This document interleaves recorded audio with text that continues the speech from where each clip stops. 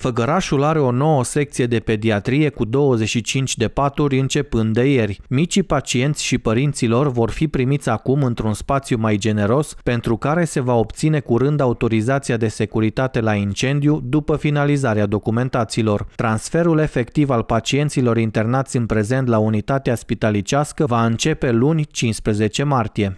Este o investiție pe care noi am început-o în urmă cu trei ani.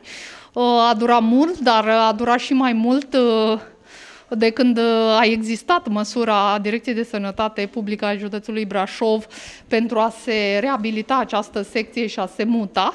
Într-adevăr, condițiile hoteliere, deși actul medical uh, este de excepție la Făgăraș, avem o echipă de medicini moși care asigură accesul la serviciile medicale ale micuților din țara Făgărașului, uh, lipseau, cum spuneam, condițiile hoteliere.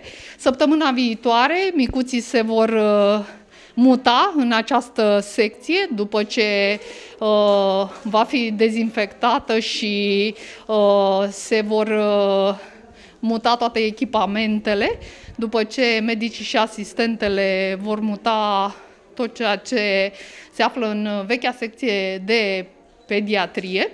Pediatria și ambulatoriul aferent vor funcționa la parter și primul etaj în pavilionul central al Spitalului Municipal Făgăraș, întinzându-se pe o suprafață totală de peste 790 de metri pătrați. Aici vor fi asigurate intimitatea și confortul necesare care lipseau în vechiul imobil. Noua secție de pediatrie va fi mult mai mare, mult mai luminoasă, mult mai primitoare pentru micii pacienți Uh, atât pentru ei cât și pentru părinți. Uh, o să fie o bucurie să vină la spital, nu să se mai sperie. Avem, după cum ați văzut, multe desene pe pereți.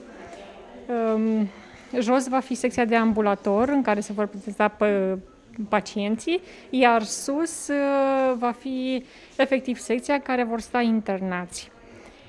Sunt toate condițiile necesare unor copii care să poată să se bucure în unele zile triste din viața lor. În noua secție s-au amenajat cabinete pentru consultații, săli de tratament, cameră de gardă, saloane pentru pacienți și însoțitori, saloane de spitalizare de zi, sala de mese cu oficiu, loc de joacă, sală de așteptare, grupuri sanitare pentru pacienți și vizitatori, inclusiv pentru persoanele cu dizabilități, vestiare și arhivă. Acum suntem în salonul de 3-6, pentru copii de 3, între 3 și 6 ani. Uh, paturile sunt gândite pentru copii ca să nu cadă.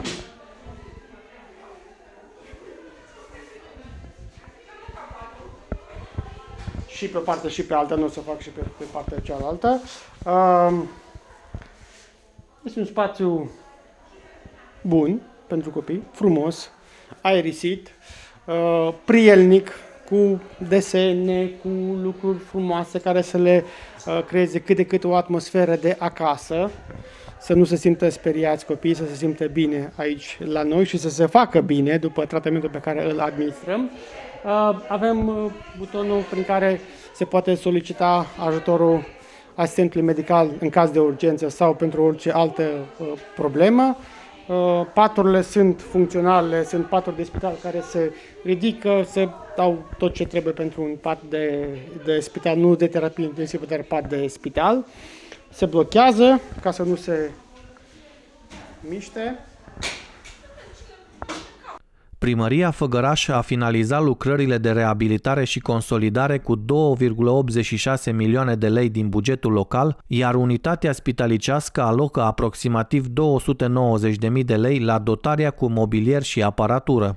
Durata, într-adevăr, este, a fost depășit termenul de execuție, dar datorită unor probleme din punct de vedere tehnic al uh, implementării proiectului. Vorbim aici de consolidările clădirii, a unei părți din clădiri, care au durat foarte mult, uh, neavând uh, posibilitatea tehnică ca aceste consolidări să se facă cu uh, utilaje mecanice, ci aceste consolidări s-au făcut manual.